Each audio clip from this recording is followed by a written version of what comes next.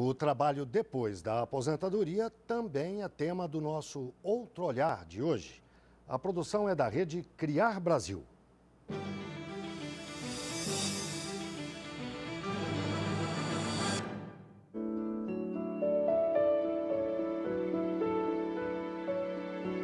Descontei na base de 10 salários mínimos.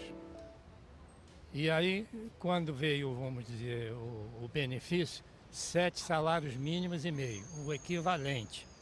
Hoje eu recebo três salários mínimos e meio. Isso eu, eu não entendo essa matemática. O Brasil tem 28 milhões de aposentados e pensionistas.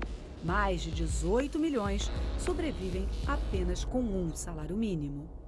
A situação do aposentado é crítica, é crítica, porque os erros não vêm da agora.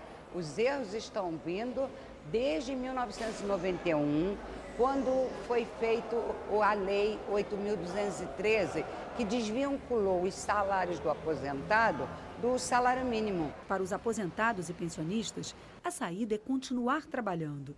Seu Carlos se aposentou há 25 anos, mas nunca pôde sair do mercado.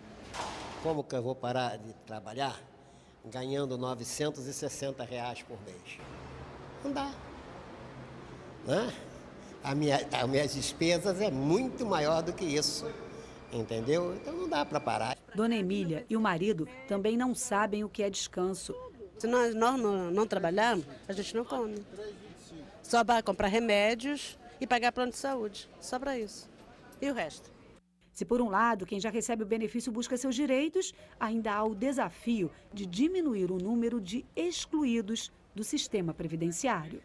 Incorporar é? pessoas que estão no mercado informal, que correspondem a 47% da população brasileira. Assim como nós incorporamos o trabalhador rural, por que não incorporamos trabalhadores urbanos? É? Esse movimento precisa ser feito.